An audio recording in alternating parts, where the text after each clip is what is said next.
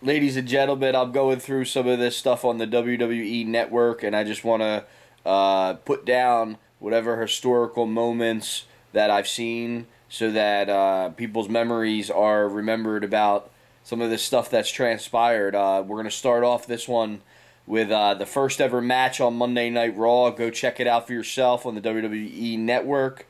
It is none other than Yokozuna versus Koko B.